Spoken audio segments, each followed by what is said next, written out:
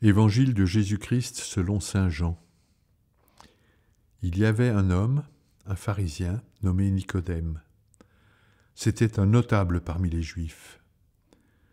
Il vint trouver Jésus pendant la nuit.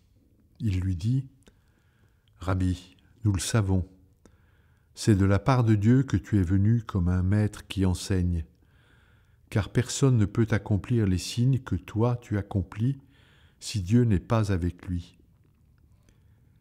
Jésus lui répondit, Amen, Amen, je te le dis, à moins de naître d'en haut, on ne peut voir le royaume de Dieu. Nicodème lui répliqua, Comment un homme peut-il naître quand il est vieux? Peut-il entrer une deuxième fois dans le sein de sa mère et renaître? Jésus répondit, Amen, Amen, je te le dis, personne, à moins de naître de l'eau et de l'esprit, ne peut entrer dans le royaume de Dieu. Ce qui est né de la chair est chair, ce qui est né de l'esprit est esprit. Ne sois pas étonné si je t'ai dit, il vous faut naître d'en haut.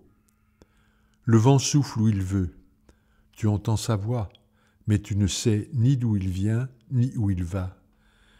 Il en est ainsi pour qui est né du souffle de l'Esprit. Acclamons la parole de Dieu.